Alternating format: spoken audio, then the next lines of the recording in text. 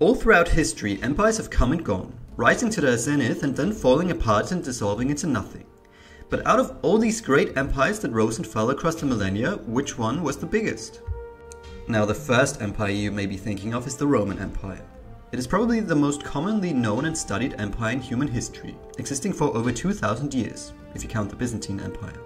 But you'll be surprised to learn that with its greatest extent of around 5 million square kilometers in the early 2nd century AD, it does not even crack the top 10. Now, the Mongol Empire, founded by Genghis Khan in the 13th century AD, is often named as the largest empire ever, but that's not entirely true. While it is the largest contiguous empire to ever exist, its size of around 24 million square kilometers only puts it at second place in terms of total landmass. The largest empire ever, as you may have guessed already, remains the British Empire. At its peak around the year 1900, the British colonial empire was far larger than that of the Mongols, and consisted of a total landmass of around 35.5 million square kilometers.